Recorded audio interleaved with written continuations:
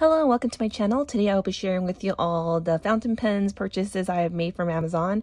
Uh, I am a new, I am new to fountain pens. So actually I purchased quite a few um, through Amazon that are um, cost effective or for beginners, shall we say. So I bought a, quite a bit to see which one actually I might end up liking. So I'm going to go in the order of from least expensive to and going up, but the most expensive uh, one I have is like $23, so it's not that much, but because um, I know that these fountain pens, like for those folks out there, the nice ones could be like up to the hundreds, if not sometimes thousands. So mine's not that way. Number one, I'll um, share with you the most uh, least expensive um, fountain pen I bought is this thing right here. is called is by Hong.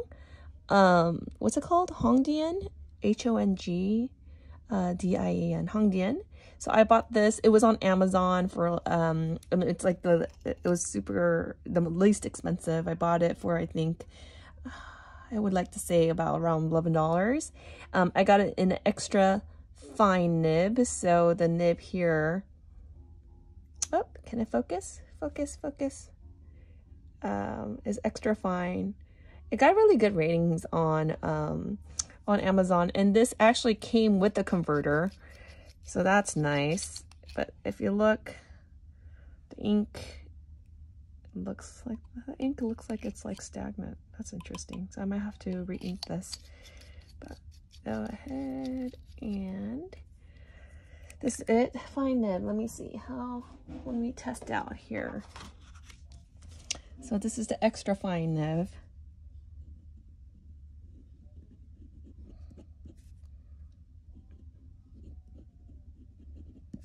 Mm-hmm.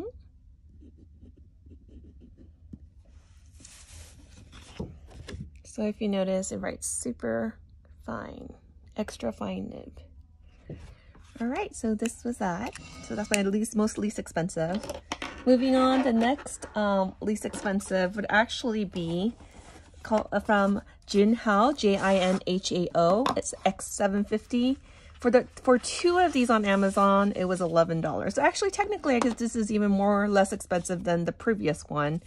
But, and these are, um, so this one is, it's like a metal. It feels, it's, it's super, it's, it's a bit weight, even as uh, slim as it is, it's a bit, um, has a weight to it. And these two, these also have a weight to it. So this is a pink. And these also, I got it in, um, what is this? A fine nib? Yep. Fine. Nope.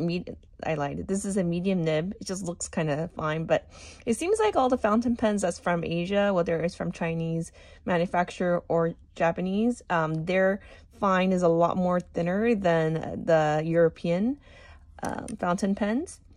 But these, you know, it was two two of them for eleven dollars and twenty cents or seventy cents, something like that.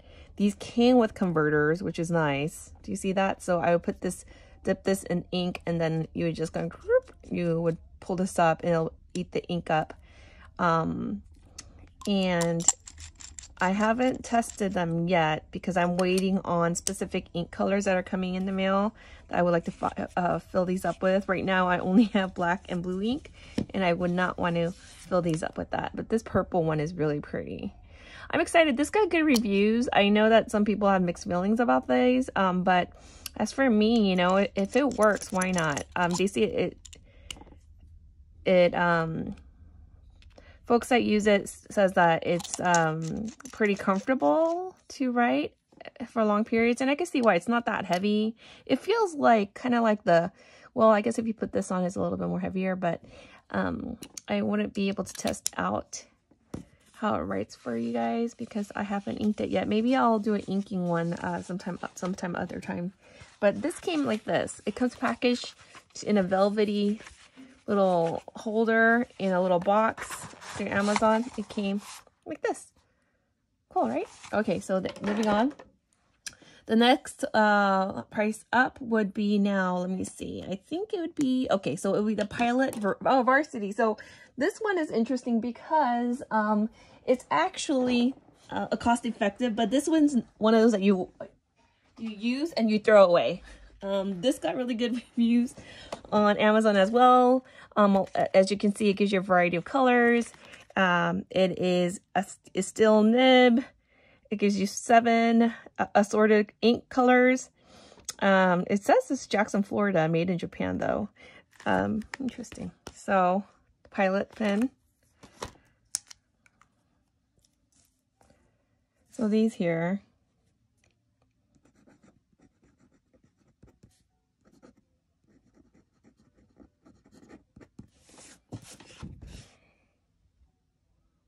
Yeah, I'm working on my penmanship. Um, but let's see here. So these, uh, the thing with these is, I guess it's pretty good to write. You you use it and you throw it away, but I, that's the thing with me is I don't want to. I'm trying to be less. I'm trying to throw away less things. So hopefully by buying all these different ink refills and pens, I don't have to throw away my pens anymore. Um, so that's this, the uh, Pilot Varsity. And then moving on, the next less, next ex less expensive is Lamy Safari. So this also got really good reviews. I got this one for six. Um, let me see. How do I remember? Yes, sixteen dollars. It was on a sale. Lamy Safari, sixteen dollars and forty something cents. So this one I got it in a um, medium nib. And the cool thing with this Lamy Safari, if you notice, it has little it divots on the sides like this so that it's supposed to give you a good posture. A lot of people say this is their beginner pen pens. A lot of people in Europe or when I look online for different reviews, they say this is like their uh, grade school fountain pen. and it's designed so that you have a better grip and have an angle. So I noticed that when I, um, you know, tried to write, because I'm a beginner as well, when I, when I grip it, it's in a specific angle so that I could uh, write. Um, and it's super smooth. Um, yeah, definitely compared to the first one, the extra fine nib. Maybe it's because it's extra fine nib. It was kind of like catching onto the paper. But this Lamy Safari medium nib is super smooth and the ink comes out as fast as I write. It doesn't matter. There's no skipping. So I really like this. Um, if it goes on sale again, I think I'll buy more Lamy Safaris maybe in the future. But I mean, right now I'm such a beginner. I don't need various. I just, I'm just trying out different companies and the way it feels on my hand um, for now. So that's that. Because I like that Lamy so much, I actually got something called the Lamy Vista fountain pen. Um, and this one was $18. And this is a demonstrator. The Vista series is a, a series of which um, it you can see it's clear and you can see through the pen. And it's wrapped like this. Kind of funny because I got it from my traveler's notebook and this is like its own traveler's notebook style. It has a little band. And then when you open, ta-da! Okay. Let me see. Yeah, um, this is great. But then this also, um, this Vista pen it doesn't it's so it looks like this. So pretty much it looks just like the safari. Safari is made out of heavy plastic. This is also clear plastic. And um, you pretty much would see how much ink you have in here so you know when it's about to run out. Right now it seems like it's full of what is this? Oh it's it comes with the i see it comes with the ink. So I actually bought a converter for this so that I could put in my own ink. But for now, this here, do I want to use it? Maybe I'll use a converter and use a different ink. But yeah, maybe I'll do that. I'm going to maybe save this for some other time because it's a blue ink, as you could tell. But I bought a converter um, so that I could put in here uh, my own inks that I bought. It's, it's coming in the mail. Cute. Okay. All right. It's lightweight super lightweight and just like the safari it has like a it's made in a way so that when you hold grip your pen you're gripping in a in a correct way. Hmm, i like yeah so far i like the lam lamy um but let's see here. So i'll put that back. And moving on um the next looks expensive. Let me see. Then it's the pilot. Oh okay yes so next I got is the Pilot Kakuno. Okay, fountain pen. So these also out of Pilot series are supposed to be your beginner's uh, fountain pen. So uh, this it has a cute little smiley face on the front, and it's so that you know that your positioning of your of your fountain pen is done right. It's supposed to encourage, I guess, kids to um, write and have a correct um, grip on their fountain pens. I Both of these are fine. There's a medium coming in the way, but I was a sucker for the colors. I couldn't decide uh, between the two, so I got both. So I'll open for now this one. Let's see. So Tokyo, made in Japan. It um, tells you how to, um, you know, perfect for beginners, comfortable to hold and easy to use. All the stuff. Right with a smile. Your first fountain pen. Best choice. I hope so. so let's see here. It says how to, uh, let's get started for your Kakuno. So it tells you number one, two, three, what to do and write. So make sure you can see my face. So is that cute? Make sure you can see my face so you know you're holding the pen the right way. so cute. Alrighty, so that's really nice. It comes with a little like how to. Oh, and it kind of gives you information. So this is for beginners like me. This is useful because I don't know what to call what. So let me see. Let me get this out first. So it says right here, yes, I know that this is a cap. So this is the pink part's a cap. Okay. It has Pilot Kakuno on it. And then this part is the nib. And this is called a neck. This is the ink cartridge. And this is the barrel. for those of you that know fountain business might be really boring for you, but for me it's exciting and it's something new. Oh, so it comes out like this. Let me see. And do you see that smiley face? Okay, and then I guess you put in here. I also got a converter for this thing, but um, I think for this one I might just go ahead and use what it came with. So I'm going to go ahead and do what they say. You just go ahead and put it in. So here it goes nothing. It's this way I would think, right? Yeah. Right? Yep. Oh, oh okay. So as soon as you put it in, a lot of ink just squirts out here. Wow but it's in. Okay, better not leak out. So I, I put that in there, screw this part on. Okay, that was simple enough. Cute. It doesn't have a, a pin, like, you know, one of these. So you can't really loop it on uh, like a pen loop on your, your TNs, your traveler's notebooks, but we'll see. Maybe later on I'll give it a go and see how that goes. But this is a Pilot Kakuno. Oh, and right away it writes, oh, no skipping. And yes, I can see the smiley face. So let's see here. Pilot Kakuno.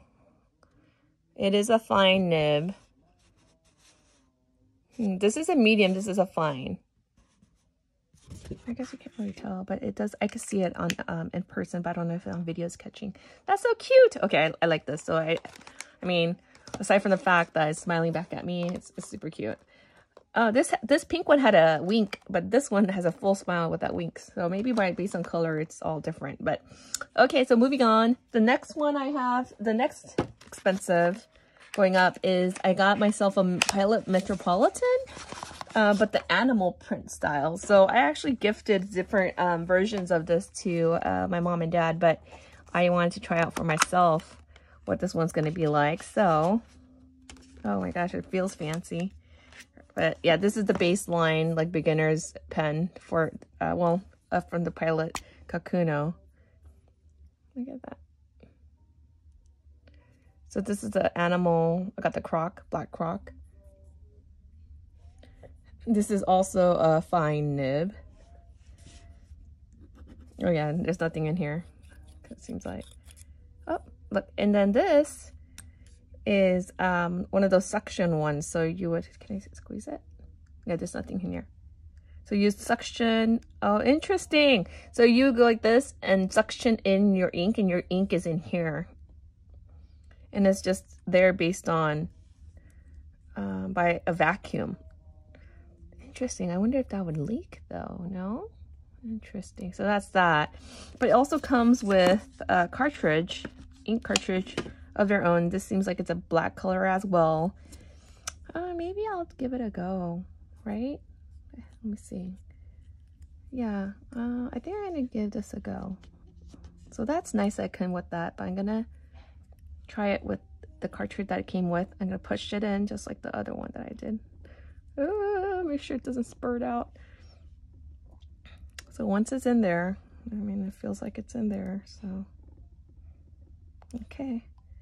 I'm to go ahead and scroll on. Let's go and give this a test. Oh. Did I do it wrong? Uh-oh, it's not coming out. Did I do something wrong? Uh-oh, I don't know. Uh...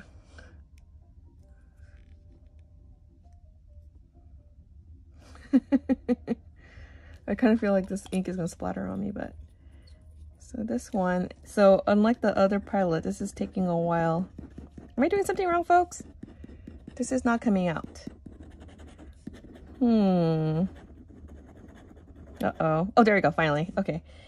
So, pilot. This is the what? Metropolitan. Oh, it writes really well, though. Animal series. Oh my goodness, I have to practice my penmanship. so, animal series.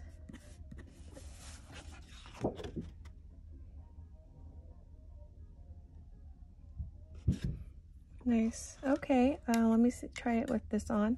It doesn't feel, this is actually lighter than the um, pink and purple, um, what it, it is by, what are they called? Let me see.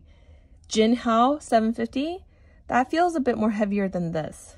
This is actually lighter. And it writes pretty well. The ink is not skipping. Feels smooth. As much as it's a fine nib, I got myself a fine nib. It's it's not. It doesn't feel like. Maybe it's because this one's extra fine nib. This actually feels nice. Okay, so that's that. And then lastly, you know, I wanted to try getting myself a pretty looking pen. but then this one's actually my most expensive, but it's it's only $23, but I mean, still $23. So this is by Moonman. Moonman is an S3 fountain pen, and this one's actually gold plated, which is super cheap, right? $23 gold plated. I don't know. Is Does that just mean it looks like it's gold or, but like, isn't that pretty? Oh my gosh. Gold plated fountain pen. This is a fine nib as well. I think after writing, um, I have to write small, I realized, and it comes with a converter. Look at this. It's so cool. I love it. So we'll see. If, I hope it doesn't leak or anything, but isn't this pretty? So pretty. So I got this one because this, you know, it's pretty. it's actually made of acrylic, so it's super light. It's not heavy. Yep, this is actually really light compared to Yeah, it's lighter than the Metropolitan, for sure. It's lighter than the Metropolitan, but heavier than the Kakuno. So, so pretty. But yeah, that's it. All right, folks. Um, oh, actually, okay, so this one, and Lex, so the other, it's not a clicker. You have to screw it on, back on. Is that pretty? Okay, so anyways, so that's my fountain pen. That's all I have, and that these are the ones I'm going to venture out with. I am waiting on a medium nib of this in a turquoise color that's coming in the mail that I haven't received yet. And, but other than that, everything else, um, this is my fountain pen I'm going to try playing out, uh, playing with um, in my Tomoe River paper.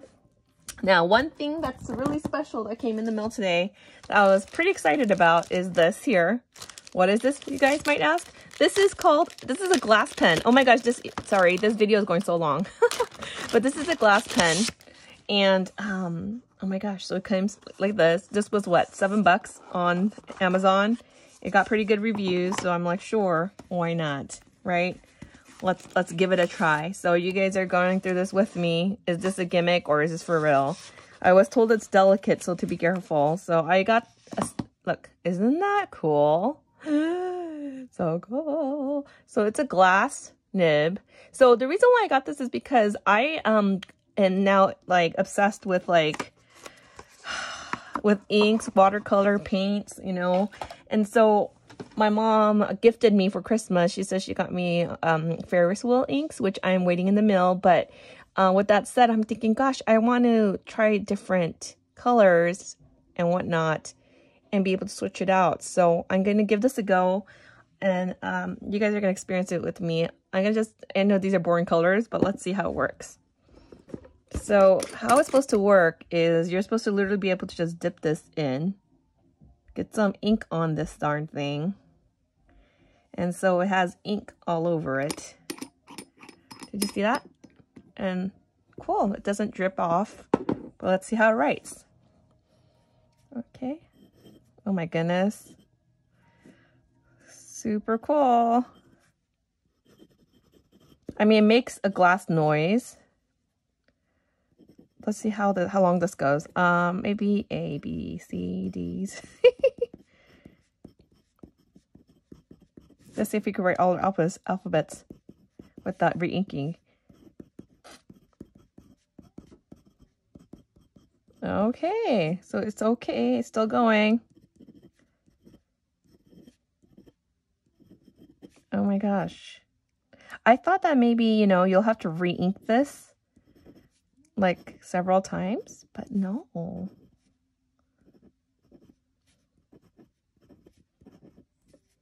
Uh, it's still going, folks. Uh, wow. Do you see that? It's, it's, it's still, look at how much reservoir of ink it has. And look how pretty it writes. I mean, you know what I'm saying? Like, it's almost juicy too, the, the ink. Oh my gosh, I'm impressed. So then how do I, I guess uh, what they do is you just clean this, kind of like watercolor paint. You clean it up and you call it good. Um, this is cool. Oh my gosh. This is so cool. Okay, I don't want to bore you guys anymore, but I, I am pretty actually... This is only $7 on Amazon, this little pen. Um, Waterman, this, I got it on sale. This ink, I got it for what? Less than like five bucks. It was like four fifty nine or something like that. So these two, I mean, as long as you don't mind dipping every once in a while, um, I really like this. Oh my gosh, I'm so excited. Oh my goodness, I could I could draw with this thing. I could do ink drawings. And I am excited. I am so excited. Okay, well, that's it for today. Thank you for joining me and experience my first unboxing of a glass nib and with all the different fountain pens. I will uh, probably give better reviews in the future. Um, once I get my Ferris wheel inks, I'll share those with you as well. But for today, you have a wonderful day. Thank you. Bye-bye.